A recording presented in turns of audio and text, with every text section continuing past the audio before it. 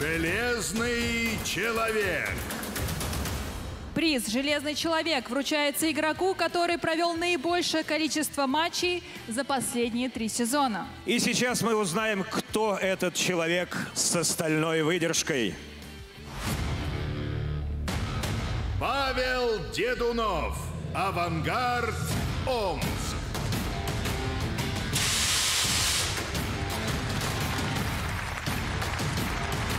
Для вручения на сцену приглашается Алексей Леонидович Текслер, губернатор Челябинской области. Именно по его заказу была изготовлена переходящая награда «Железный человек». И, конечно же, мы ждем на сцене нашего победителя из авангарда Павла Дедунова. 206 игр провел Павел за последние три сезона. Алексей Добрый Леонидович. вечер, дорогие друзья. Поздравляю всех с завершением такого яркого сезона.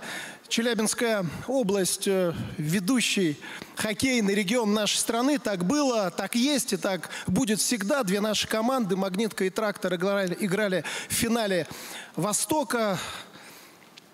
Не получилось с э, кубком, но я уверен, что у нас еще все впереди. Мы специально подготовили замечательный э, приз и вручим его сегодня нашему замечательному железному герою Павлу Дедунову. Поздравляю вас. Алексей Аплодисменты. Леонидович, пожалуйста, вручайте награду нашему герою.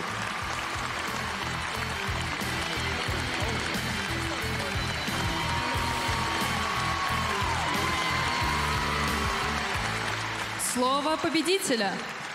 Всем здравствуйте. Э, Хотел бы поблагодарить э, Лигу, что отметила меня э, этим призом. Вот. э, Еще вчера я на рыбалке был, рыбачил, и тут э, поступил звонок, и там с КХЛ говорят, там тебя награждать будут. Я такой думаю, чем, чем награждать.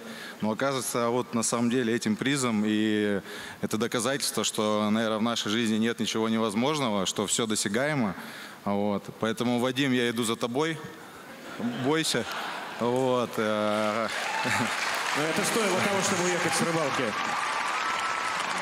Хотел бы поблагодарить э, руководство «Авангарда», что доверяет на протяжении трех лет мне. Вот, и я буду дальше стараться на пользу и на благо команде. Спасибо.